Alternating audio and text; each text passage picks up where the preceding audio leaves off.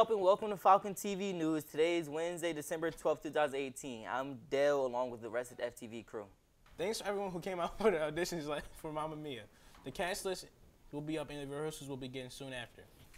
Teachers looking to shed a few unwanted pounds and adopt the healthier living style as your New Year's resolution. Why wait? Oakcrest is holding a 12-week Biggest Loser competition.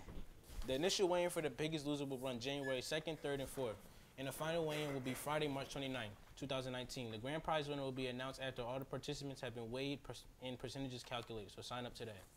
The Student Council is now accepting applications for Mr. Oakcrest. Remember, you must be in good academic standing in order to apply.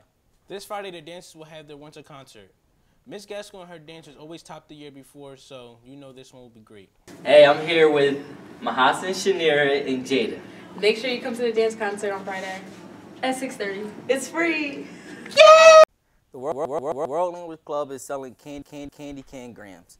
Two candy canes and one bag of Sour Patch Kids for a dollar. Stella, you want to go bang?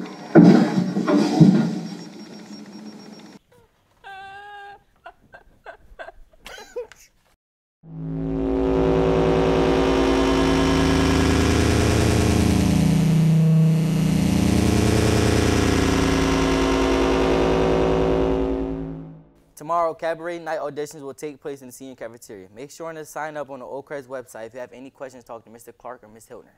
The NHS is selling holiday cookie grams this season.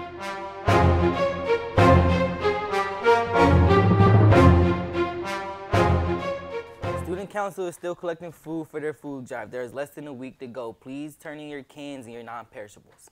Make sure to be decorating those doors for Student Council Decorating Council. The deadline is the 17th.